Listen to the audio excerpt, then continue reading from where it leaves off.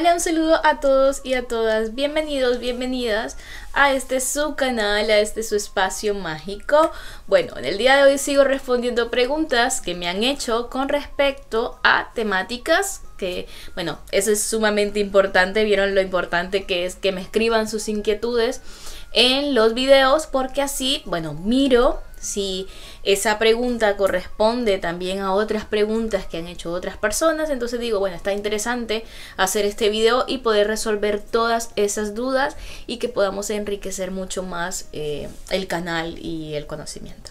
Y en el día de hoy, como vieron en el título del video, estaremos hablando acerca de los dioses, las diosas solares. Y este tema puede causar mucha inquietud o puede enredar un poquito porque muchas culturas han, digamos, eh, direccionado, eh, digamos, la energía masculina hacia el sol y la energía femenina hacia la luna, siendo así que el sol, por ejemplo, al representar la energía masculina, nos habla de la fuerza, de la potencia, del poder, de la protección, de la energía, de la sexualidad, de la lucha. Y siendo la energía sagrada femenina, la energía de la intuición, de la curación, de la energía de la madre protectora, del florecimiento, de la fertilidad, del psiquismo y de la espiritualidad. Por tanto, muchas culturas han dicho, listo, entonces la diosa va a ser representada por la luna y el dios va a ser representado por el sol. Y esto es algo muy común dentro eh, y es algo que muchos de los huicanos eh, conocemos o los que están iniciando también el hecho de que al dios se le ha representado, por ejemplo, con este símbolo y a la diosa con este símbolo.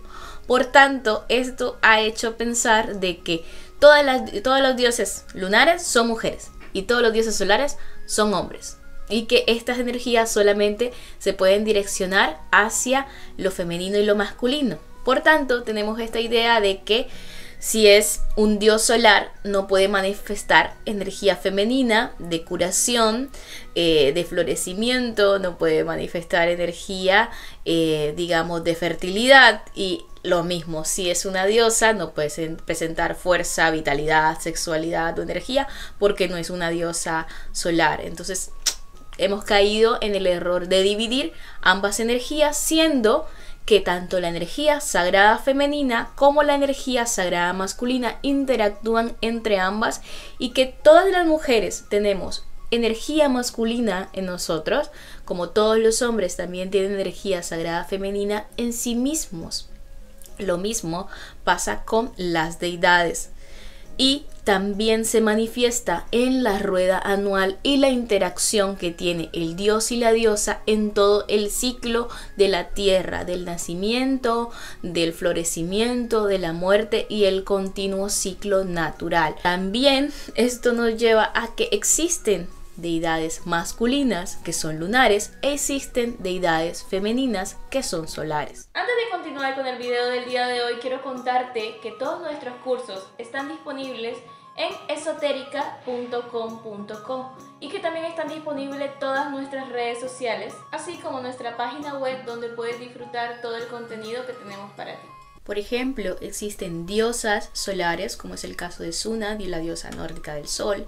Tenemos a la diosa Brigitte, tenemos a la diosa Shetmen, tenemos a la diosa eh, Saule de Lituania. Estas son diosas que mm, representan energía eh, solar y representan esta energía activa y esta conexión con el fuego que también es el elemento que representa o que está unido mucho a este astro y a la energía que dentro de, de digamos de la magia del paganismo y de distintas culturas se le ha otorgado o se le ha atribuido a el sol y también tenemos a dioses masculinos que son dioses con energía lunar, como es el caso del dios Chandra en la mitología hindú, Mani en la mitología nórdica y tenemos también a Sin en la mitología de Mesopotamia.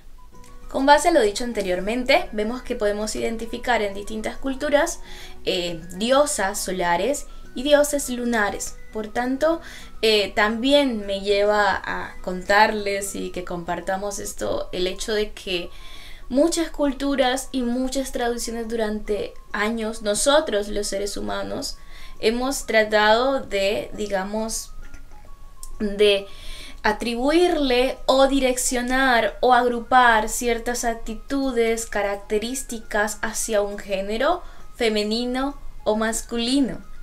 Es decir, como decíamos anteriormente, la sanación, la intuición, a lo femenino y a lo masculino, la fuerza, la vitalidad, la sexualidad, la guerra. Y estamos haciendo como y hemos hecho como una separación, siendo de que las energías se pueden manifestar tanto en lo femenino como masculino de igual forma. Y estaría supremamente interesante eh, todos aquellos que estamos en este camino espiritual, a todos aquellos que hacemos parte de la Wicca, que creo que ha sido en una de las tradiciones mágicas donde más se ha hecho énfasis en esto de lo femenino de la diosa, masculino del dios, todo, eh, luna diosa, sol dios. Entonces, comenzar a experimentar, a reconocer incluso que lo masculino también puede presentarnos energía de intuición, de sanación, de fertilidad, de espiritualidad y no solamente enfocarlo hacia la parte activa. Y también reconocer que hay diosas lunares o también energía sagrada femenina que también pueden ser diosas relacionadas con la guerra, con el poder, con el avance. Entonces comenzar a quitarnos un poco eh, digamos, esa estructura que nos hemos creado y más, sobre todo eh, en este tiempo donde, bueno, decía en otro video acerca de que eh, estamos en un despertar de las identidades, del género, entonces es como que es tiempo de comenzar a desestructurar también a los dioses y a las deidades de estos temas, de, estos eh, reglamentos o estructuras que hemos creado. Todos tenemos, tanto dioses como nosotros seres humanos, esas energías incorporadas en nosotros que se pueden manifestar. Por tanto, también lo que puedes hacer es comenzar a interactuar con dioses lunares, porque también van a presentar esa energía de intuición, vas a poder trabajar la intuición, vas a poder trabajar el psiquismo, el plan oracular, con estos dioses lunares. Y va a ser una energía súper particular porque ya vas a conocer todos estos aspectos pero ya desde mm, esta energía masculina que no habías experimentado porque siempre trabajabas con diosas lunares. Lo mismo pasa con las diosas solares. Eh, puedes comenzar a trabajar con ellas, a interactuar con ellas y a ver que esta energía femenina también puede ser activa, también puede estar enfocada hacia hacia la vitalidad, hacia el poder, hacia la protección. Por tanto, eh, de esta forma es como puedes reconocer y puedes comenzar a trabajar con ambas energías, no direccionándolas hacia un género en particular o en específico o encasillarlas, sino saber de que ellas se pueden manifestar, que pueden interactuar y que pueden tener su energía en particular. Bueno, esto ha sido todo por el video del día de hoy. Espero que haya resuelto todas sus dudas con respecto a este tema, eh, que les haya aportado, que les haya ayudado. Y si tienen alguna otra duda que haya surgido más, porque a veces puede pasar de que uno habla de un tema y salen mucho más preguntas, déjenmelo acá en, la, en los comentarios o si tiene alguna otra pregunta con otro tema o les gustaría que hablara sobre algo, también déjenmelo ahí. Y como siempre les digo, si son nuevos en el canal, no olviden suscribirse para que no se pierdan los próximos videos. Y si son viejitos, ayúdenme compartiendo cada vez más. Veo que cada vez más estamos creciendo, que eso es muy lindo porque así cada vez compartimos más cosas y podemos resolver muchas de nuestras dudas. Eh, y nada, un besito grande. Como brujos y brujas sabemos que te encanta muchísimo aprender y es por eso que hemos creado un montón de material que te puede ayudar en tu camino espiritual. Si deseas adquirirlo, todos ellos están disponibles en Amazon y Smashword.